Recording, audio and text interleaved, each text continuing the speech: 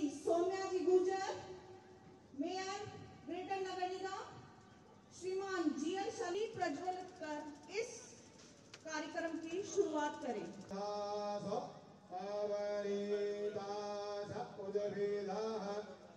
विभिन्न निवर्त